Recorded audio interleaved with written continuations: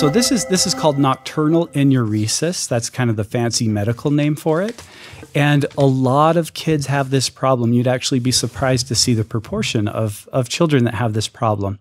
Typically, it will start to go away at your early teenage years. Usually 11 and 12 is, is the oldest that we typically see it. So once they're older than that, we definitely want you to seek out help uh, for him. Um, I think that it'd be great to open up some communications with him. I know it's very embarrassing as a 16 year old um, to talk about certain things. Um, and sometimes as a parent, it's, it's, it's even more difficult because I don't know, I have teenagers and they don't ever want to talk to me about anything. so um, just getting him in with his, with a pediatrician, um, allows them as a teenager what what we typically do as pediatricians is we give them the opportunity to talk to the pediatrician alone um, that way they can feel very comfortable. We let them know that it's a very confidential situation. We just talk about things. Um, we encourage them to talk to their parents and that way we can get them to open up a little bit more.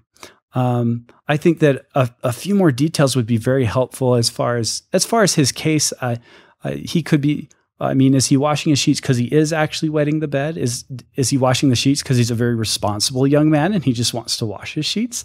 Um, there's also other things that um, come in kind of the teenage years and a little bit embarrassing, but they're uh, as as teenage boys they can have what are called wet dreams, um, and it'll feel like they've wet the bed and they may be washing those sheets and that's that's a completely different scenario.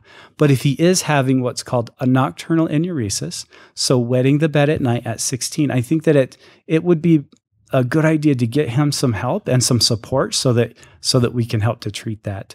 Um, one of the mainstays of treatment is called the bell and pad method. Um, they're actually uh, little devices. You put a pad in the underwear, and uh, there's it's hooked up to a, an alarm at night.